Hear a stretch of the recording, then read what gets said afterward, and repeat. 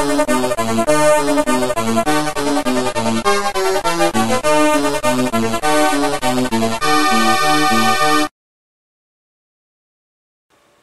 going on arcade nerds? The Pi position is finally finished.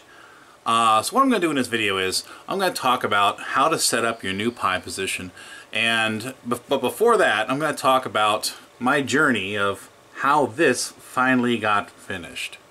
So anyways, if you want to skip to how to install your Pi position, go to this timestamp right here. But if you want to listen to all my bullcrap, keep watching. So what is the Pi position? Well, the Pi position is a PCB that plugs directly into an Atari pole position cabinet and emulates the original board.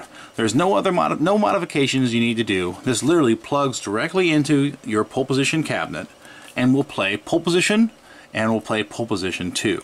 Now it can also play other games, but I, I'm selling these configured for pole position and pole position 2. If you want to make modifications to this, in other words add ROMs and so on and adjust the configuration settings, you are on your own. But out of the box this will play pole position and pole position 2. You actually go inside the coin door and press a button that's already there to switch between games. Uh, so what I'm going to do is I'm going to talk about some of the random stuff that happened while I was trying to get this going. This is the first prototype PCB that I, that I made for the pole position. As you can see, the microcontroller is on board here, and the crystal and so on, the oscillator.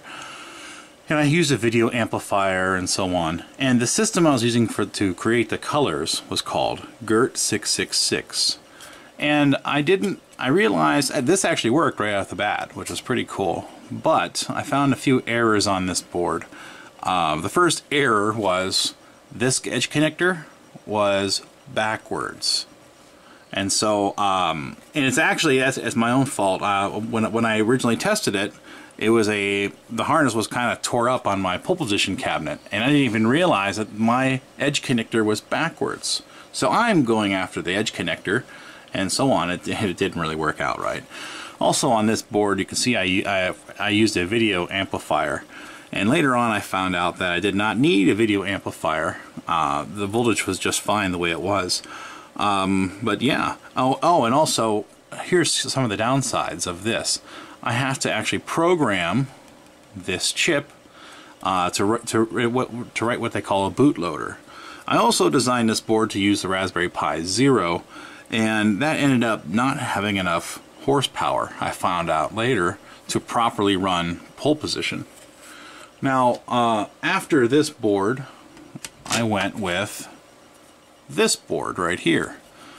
Because one of the one of the issues I found with this was that uh, the audio wasn't as loud as I'd like. Now the way the audio works on this is with pulse width modulation and there's a low pass circuit here that cleans up the pulse width modulation audio and uh, and so on. But it was too quiet and I wasn't too happy with it. So I switched over to this which would be revision two I'm sorry this is revision 2 this was revision 2 and instead of using the GERT 666 I switched to GERT 565 now what does that what does that mean?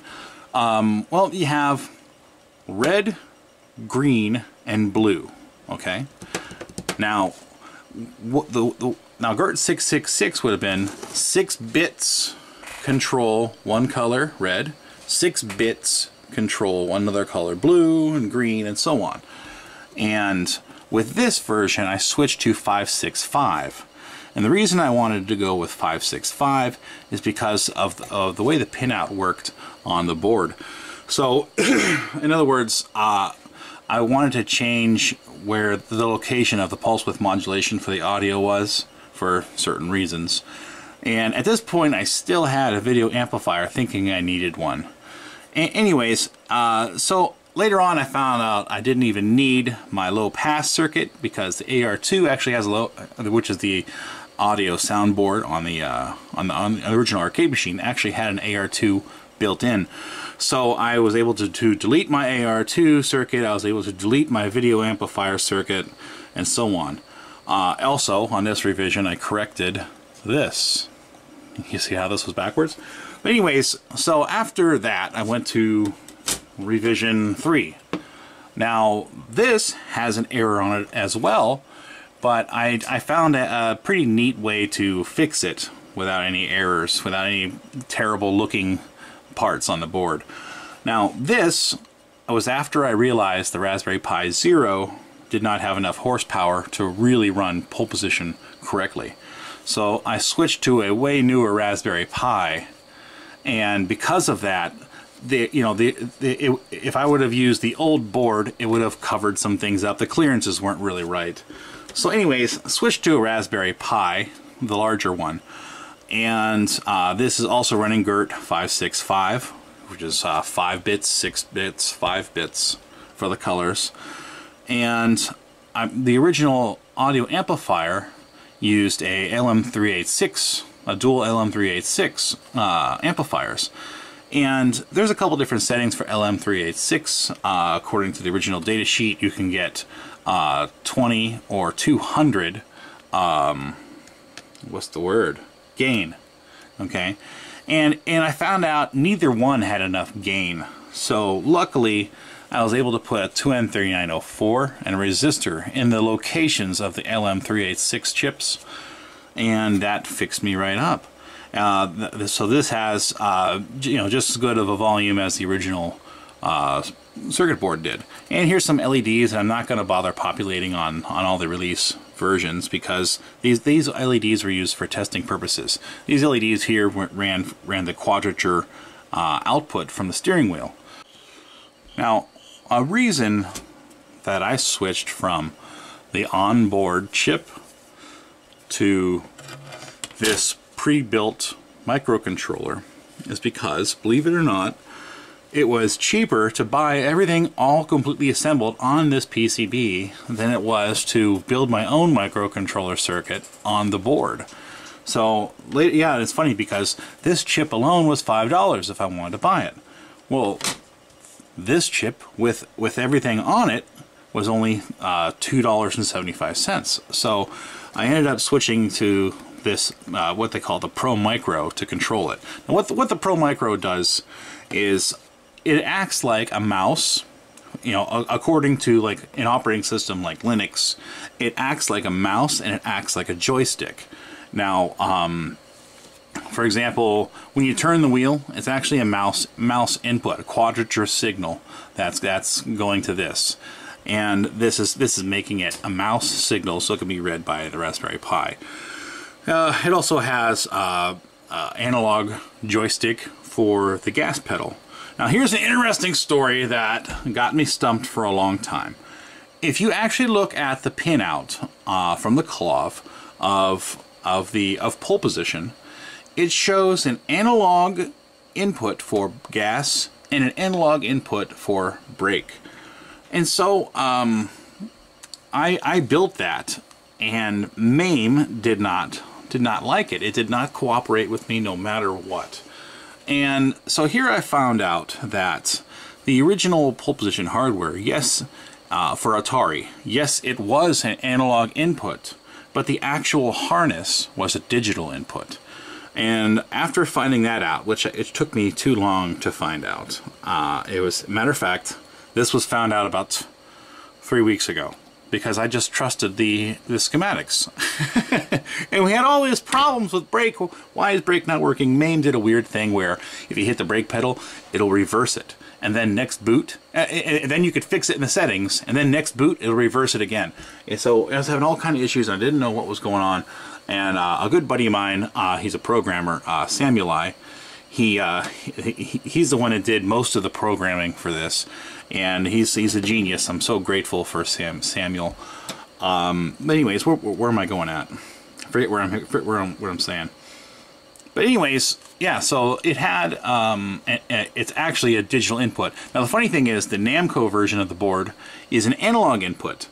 And so when I eventually make the adapter boards for the Namco version, uh, I'm going to make it, I'm going to use, let's say, a comparator or something like that, which is going to turn the analog uh, brake input into a digital brake input. Um, and to be honest, it, so in other words, it will make the Namco act like the brake, act like an Atari cabinet. And that's just the way I did it. And, you know, and I, I did I did a lot of things so I could save parts, and this is what I'm doing. By the way, did you see this? This, these are the programmers. Samuel I, or Samuel, Thomas Christie, David Galloway. And, uh, yeah. Now, when I originally started working on this, I made the schematics in just, you know, this is really simple schematics. The hardware is not the complicated thing here. The complicated thing is the software. Believe it or not, this software can actually upload your high scores onto a database via Wi-Fi, which is, you know, pretty cool. Uh, so there's a lot of a lot of software tricks and a lot of software things that Samuel did to make it boot extremely fast for a Pi. You know, so it's pretty cool. Uh, yeah, I mean, as soon as you turn the machine on, about about the time your monitor shows it warms up to show a picture, it's already working. Pretty cool. Um, but I see. I thought, I assumed that the software was going to be the easy thing. It ended up being the most difficult thing of all. Um, I originally uh, found some random guy on Facebook and I said, hey, I need something to boot and play pole position. And I says, hey, tell you what, I mean, he says, he says, it'll be easy, man. I'll get it done in like two hours and send, send you an image. I'm like, really? Sounds like a deal. So I paid the guy a hundred bucks. And it turns out there was a lot more to it. There was a lot of actually MAME code that had to be altered to make it play like the original machine. Because remember, the original machine had pedals and all that. Well, um, well, here's a good example. If you were to play MAME with a keyboard, uh, uh, play pole position on MAME with a keyboard, and you want to shift, okay, you tap a key, and it'll go to high gear, tap a key again, and it'll go to low gear. But the original machine has a switch. It'll open or close depending where it's sitting. So if I were to, if I were to use the original MAME code uh, on this board, you'd have to shift, you have to move the shifter down, up, down, up, down, up in order to shift from high to low. It was, it was all awkward and weird. Anyway, so that guy, it was, he, he couldn't do it, and I, and I totally understand. And so there was another guy that said he could do it, and I says, okay, sounds like a deal. He said the same thing. Oh man, I'll have this going in like in like an hour. So okay, so I paid him 200 bucks, and uh, if I remember right, I don't think he ever produced anything. And so, um, so then I had a buddy, Dave Galloway. Now, Dave Galloway, he wrote most, most of the code for the microcontroller to make the mouse work and so on. And now, there was a lot of upgrades we did to that original code. But Dave, he, uh, he, he really, I mean, he basically wrote the, the groundwork for that code. It was pretty cool. Um, but anyways, uh, so Dave had a buddy, and, and uh, you know he worked on a little bit on the on an image, and it the image just did not work right. Uh, what else? Oh, here's something. Here's something else that's interesting. Another issue that we had with the code. Another issue.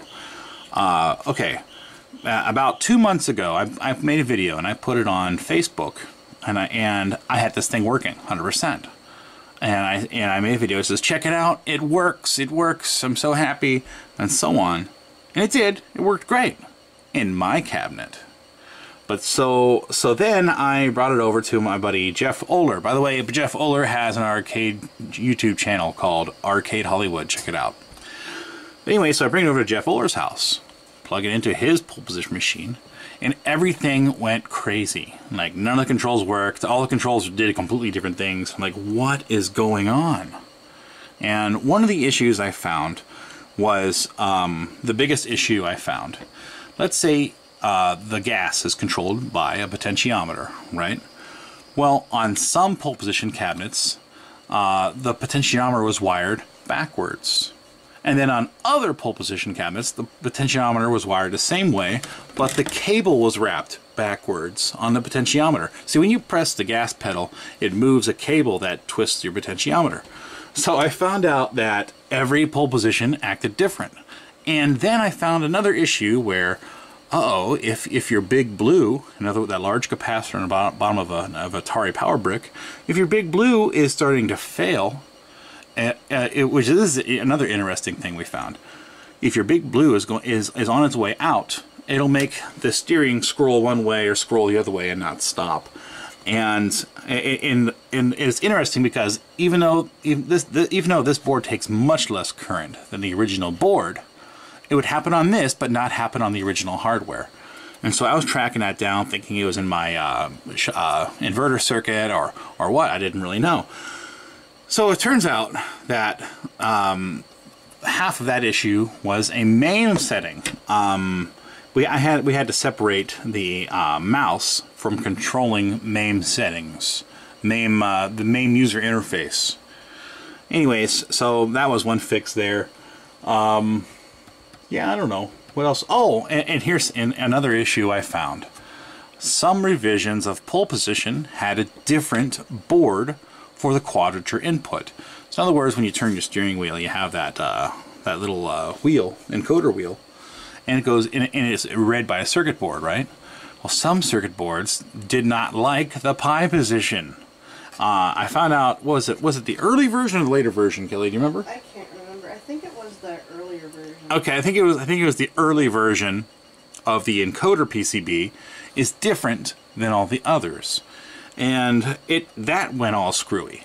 And so my quick fix to that was I'm I'm I'm giving everyone a little encoder PCB. I actually I, I need to retest this on the on that early early board because I may not even have to give you brand new encoder. Oh, you got one, Kelly? Okay. So what I did is I had to reproduce the later version of that board. And uh, because, you know, some were different. But anyways, uh, long story short, I may not even have to give you these because to send these out because I have not retested this with the new software. It may actually have fixed that bug. I think that's I think that's about it. But I, I just wanted to mention somewhere in this video that I felt terrible because the software side is completely out of my hands because I'm not a software guru. You know what I mean? I could do simplistic hardware like this, but when it comes to software, I'm, i was really out of the loop and I really didn't know what to do. And I was worried because I promised everyone that, hey, um, it's working, I'm going to start shipping them now. And uh, yeah, and I took, took, took all this money and then spent all of this money on all the parts to build these things and then they didn't work. And so I was terrified. I was sick to my stomach. Like, oh man, if this doesn't pan out, I'm gonna have to like sell a bunch of games or something and uh, pay everyone back. So I felt so sick to my stomach. Um, and you know, like I said, thank God for for Samuel for figuring everything out. And maybe I was maybe I was worrying too much, but you know, I promised everyone it, was done, and then it wasn't done. For those of you who just got your Pi position in the mail, let me tell you a few things you need to know uh, to set it up. Um, first off, I can't include, for legal reasons, I can't include any ROMs with this with this board. I don't own the ROM code, um, so you'll have to uh, install the game ROMs yourself. Now, these ROMs can be found online. I'm not even going to tell you where. Hopefully someone in the community will, will point that out for you. Uh, so, but this is what you do. You, you, you get your board, remove the SD card like this. Now stick your SD card into your computer. Once you plug in your SD card, a folder like this will show up. Go into the ROM folder and drag and drop your MAME ROM files here. You can also uh, mess with additional settings in arcpi-config. In this folder you can change things like whether, whether or not you want the boot screen to show up, what type of order you want the games list to be in, and what the starting game is and so on. But most people will just be happy enough dragging the ROMs into the ROM folder. Now before you plug in your Pi position board, please test your power supply. Now, pole position 2 actually has two power supplies. Um, if you were to plug this in and the voltage would be too high, you can actually damage the microcontroller and the Raspberry Pi. You want anywhere from 4.9 to 5.2 volts. Try to get it around 5 volts if you can. Um, if any damage is done from improper voltage, I will be able to tell. And if it's because of a bad power supply, I may choose not to replace it. Here are some pole position PCBs or pi position PCBs in various stages of assembly. As of now, I have done a pre-order of 100 and uh, I would say by tomorrow or the day after I will actually begin shipping all of these boards. They will all be finished. I did not, I purposely did not finish a few things because I was worried about the firmware updates. I didn't want to install chips and then have to remove them to upgrade the software. But yeah, so, you know, in about a day or two, they will all be shipped. And I will take more orders. Oh, by the way, I'm going to take those orders on the KLOV, on KLOV. Uh, there's a forum. What is that called, Kelly? No, no, no, not not what not what KLOV stands for. The uh, what was it? The thread on oh. face on Facebook. I want to keep saying Facebook. oh, I think it's called New Pipe New Pole Position Replacement PCB ah, on KLOV. That's what it was called. Okay, as you can see, we have a pi position board plugged into this pole position cabinet. Now, this literally plugs in the same way as your filter board. Uh, you can also decide to slide this into your cage. Uh, I, I did make this the same exact width as an original pole position board. So we'll still slide into your cage. Oh, and I should mention that Vector Collector on KLOV is actually making a pi position switcher, which will be able to, which will be able to support the FPGA pole position uh, that's coming out someday, and uh, original hardware or the pi position.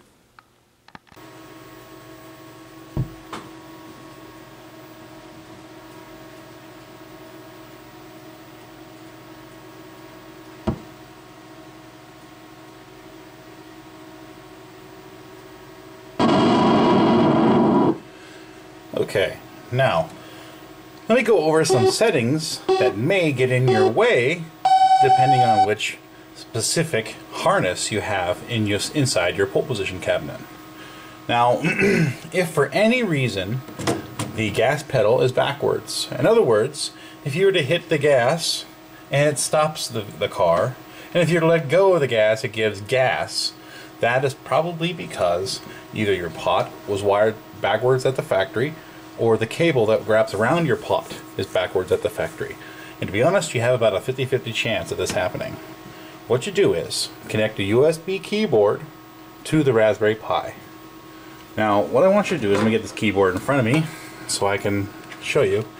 Hit the tab key and where it says analog controls what you want to do is pedal 1 reverse it says, let zoom in a little bit. See how it says pedal on reverse? I can switch that to on or off. Escape key, escape key. Hit escape key one more time and hit exit. And that will save your settings. Now, for any reason, your car, your steering wheel turns the wrong direction. In other words, if you were to turn right and the car goes left, if you turn left and the car goes right, hit tab.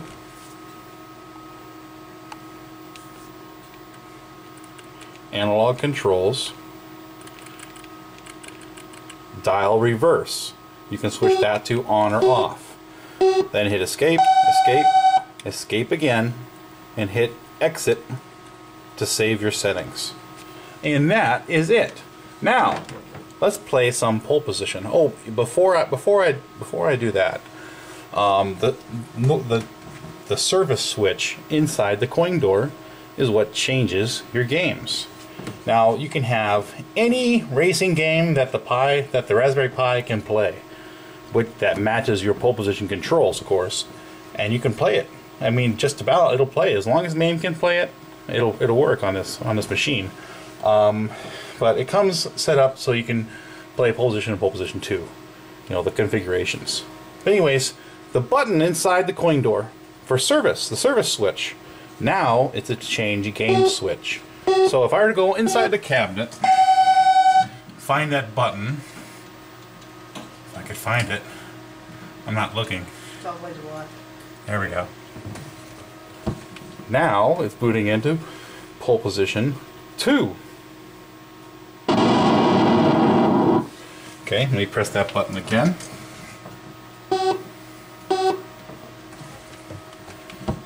And now we're back into pole position one. now, let me talk about some of the differences in MAME compared to the original hardware. As of now, the sample files. Now, uh, there's these files called sample files for MAME, okay?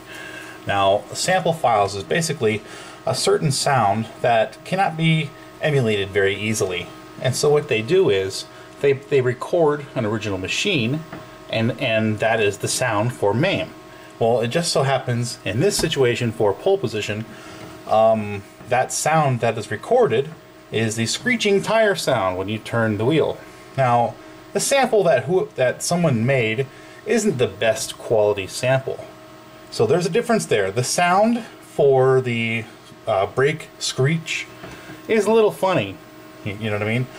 Other than that, I mean everything else sound everything else sounds great. I will mention this. Some of the high score gurus for pole position have told me that there is a difference in MAME compared to the original machine. And this difference is on your qualifying lap. I guess um, when you do your qualifying lap, MAME gives you a couple extra points, and it's not supposed to on the original hardware. So those are the, as far as I know, the only two two uh, real differences between MAME and uh, pole position. So, anyways, let's uh, let's hear let's hear, and I, I'll, I'll play through this, and we'll see what you guys think. So, like normal, press coin. Press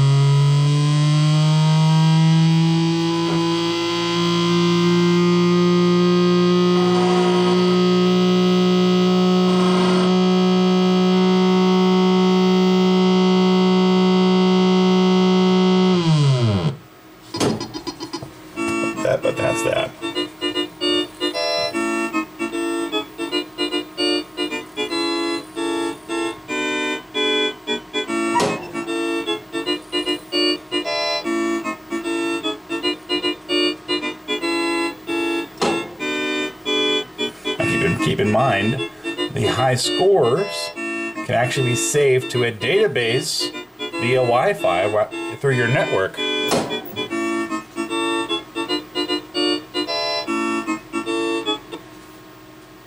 But by the way, the sample with the file, file that's a little off, the uh, brake sound, can actually be fixed if someone were to just record a better sample uh, audio file, which that may actually be be done here shortly.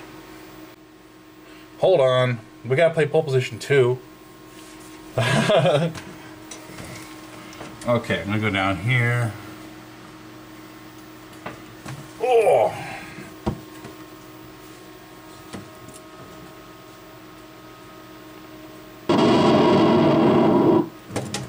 Okay, going up. We're gonna do Fuji.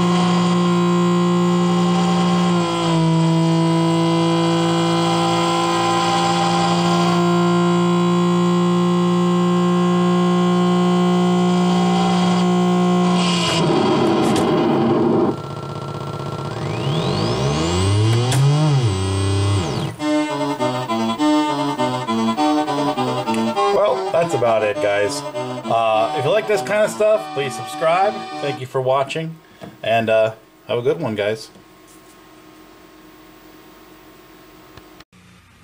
Hey!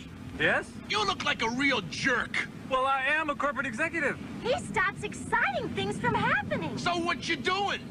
Well, Muffy, Buffy, Biff Jr. and I are going on our Sunday drive. Oh no, you're not. You're gonna play pole position.